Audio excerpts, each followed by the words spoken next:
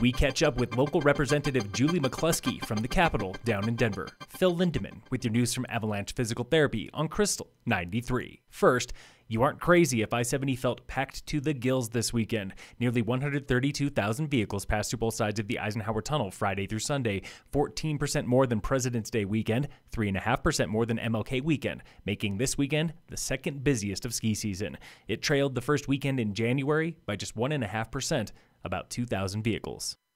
Local Representative Julie McCluskie says two big concerns are driving state lawmakers all this winter and spring. The challenges that our state is facing, both on the public health front because of the pandemic, as well as the economic challenges that we've endured this past year, those are really the two priorities, I think, not only for myself, but all of my colleagues down here at the state capitol. Often the two collide even far outside the walls of the Capitol. Making sure that we're still taking care of the most vulnerable people in our communities, the people who are in need of, you know, that extra support, whether it be housing, food assistance, utility assistance, or other things. McCluskie says the state, like Summit, weathered pandemic shutdown better than expected with single digit revenue loss instead of deep double digits.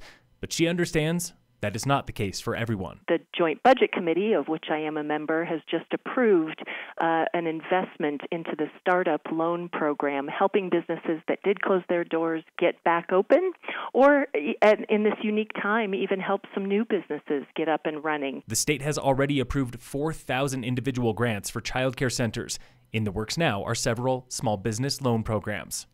Wildfire season is already here for McCluskie, and she's trying to find cash and support for a unique piece of machinery a Firehawk helicopter. Put them out at the point they start before they even get a name or they get a story in a newspaper. She says funding right now looks promising, but the price is steep. In San Diego County, one chopper alone cost about $20 million, nearly 10 times more than a Blackhawk. The dirt is still flying in Dillon. The latest news from Homewood Suites is that they're going to be opening up here towards the end of June, hopefully before the 4th of July, which is great news. Uh, and then also Vail Health has stated that they're going to be opening in the fall. That was town manager Nathan Johnson. Those two sites are on schedule, while Uptown 240, the mixed use condo complex at the town entrance, has been on hold for 11 months now. They had uh, a couple issues with some of the lenders that they're working with, so we're trying to come up with a, a reasonable solution that not only protects the town but uh, gives Uptown 240 uh, what they need to keep that project moving. Johnson hopes to see contractors on site again by end of the month.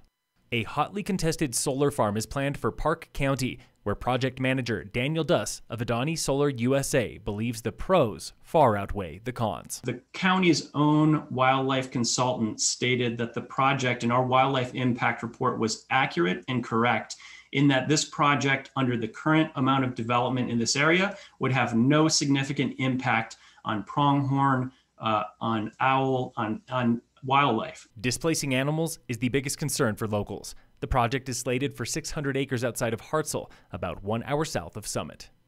In sports, the Avalanche play the Golden Knights tonight at 7. And in local sports, brought to you by American Family Insurance, the Weiss Agency, Summit School District is on winter break, but pandemic scheduling has teams playing all this week, starting tomorrow with boys and girls basketball. Phil Lindeman with your news from Avalanche Physical Therapy on Krystal 93.